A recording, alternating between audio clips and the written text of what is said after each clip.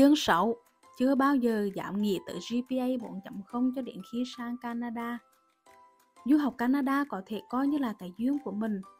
Trong gia đình, hiếm ai suy nghĩ sẽ rời xa Huế, mà dù có suy nghĩ đi xa Huế thì cũng không ai muốn rời quê hương Việt Nam.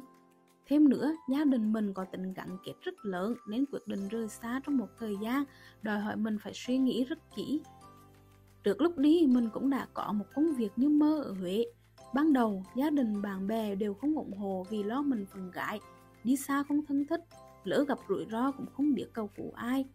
Tuy nhiên, với niềm khao khát và hoài bão của mình, cuối cùng mình nhận được sự ủng hộ từ mọi người.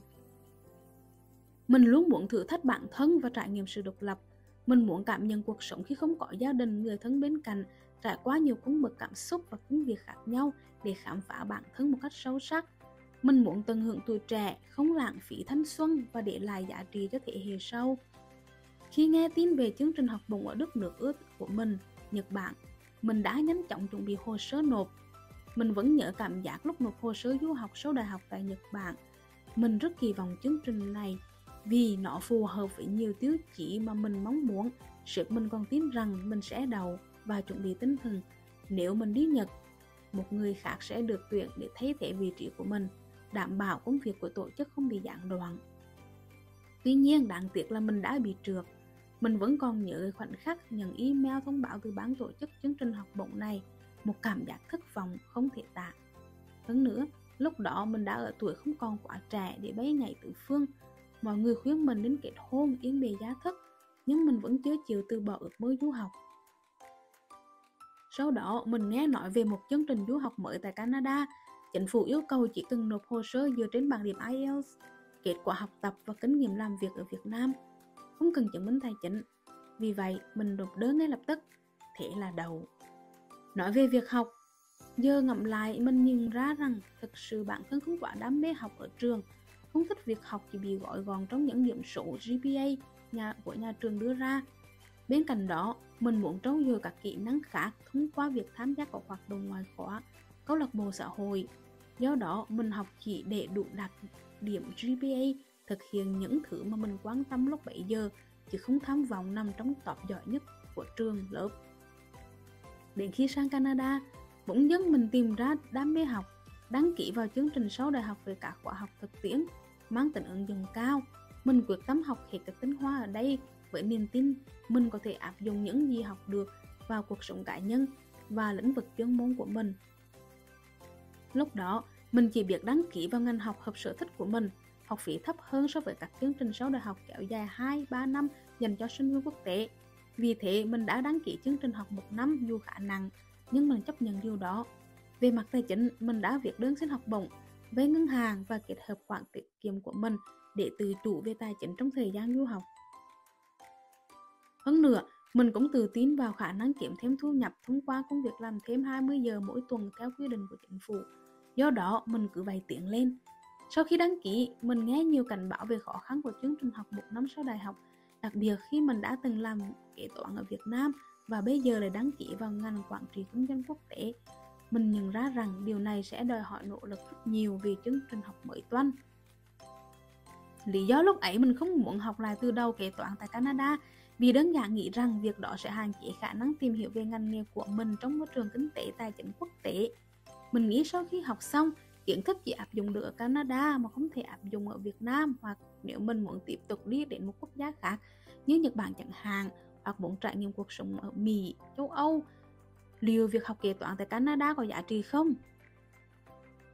Tóm lại, sự quan trọng của việc du học và trải nghiệm là để khi hoàn thành, mình sẽ trở thành một người tự tin hơn trong việc tự mình quản lý được cuộc sống ở đâu cũng được.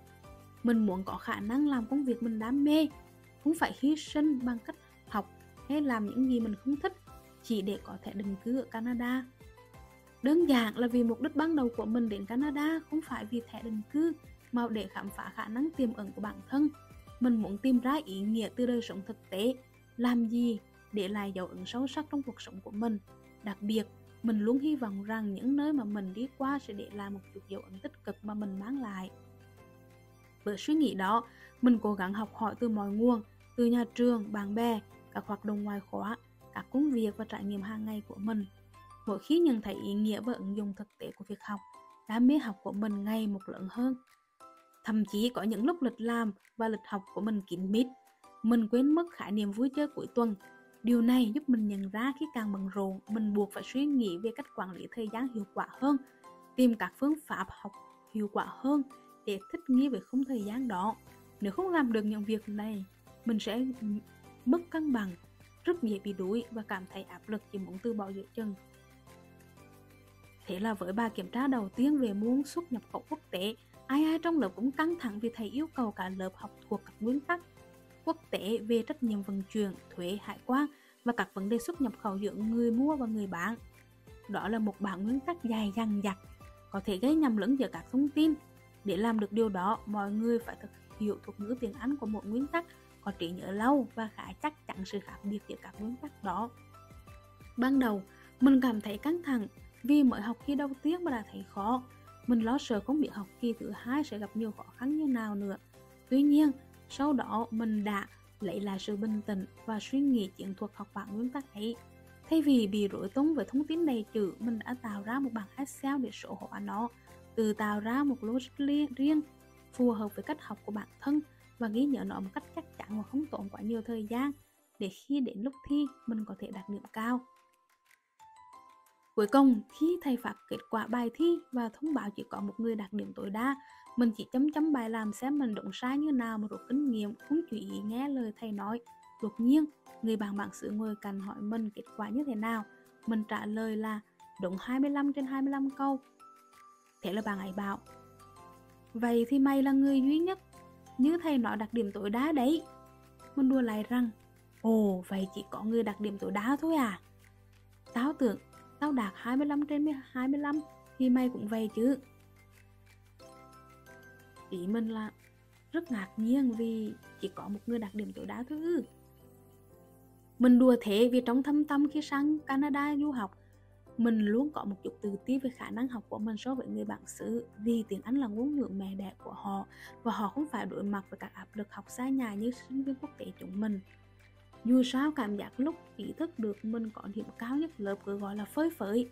Rồi những bài thi sau, mình cũng luôn từ sáng tạo chiến lược học phù hợp với phong cách riêng của bản thân, cùng đáp ứng câu hỏi luôn đặt ra trong đầu.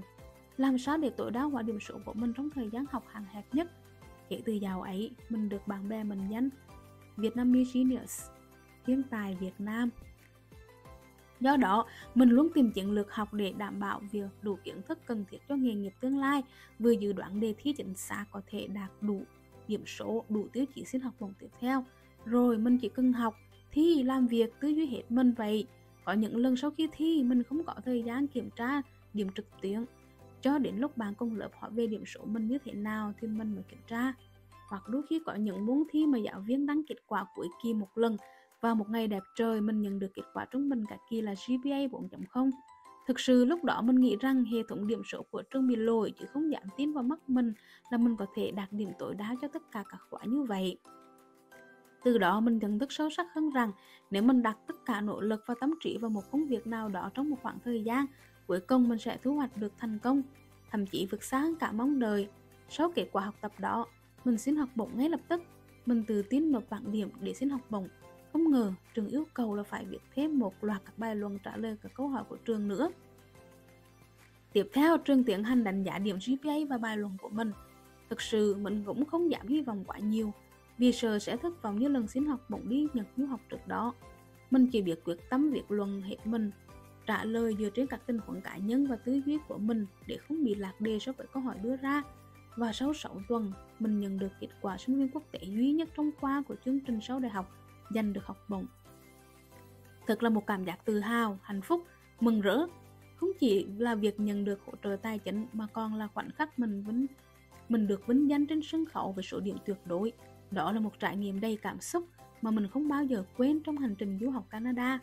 Quả thật, quá trình quan sát nhiều trường hợp du học đã giúp mình tìm ra câu trả lời cho câu hỏi, làm sao để có cơ hội kiếm thêm thu nhập từ việc học và tham gia vào những hoạt động phát triển kỹ năng phù hợp thực tế của một sinh viên quốc tế. Vậy là cuối cùng, mình không chỉ nhận được học bổng, mà còn có thành tích để sau này có thể định kèm vào hồ sơ thành tựu cá nhân liên quan đến công việc mơ ước trong tương lai.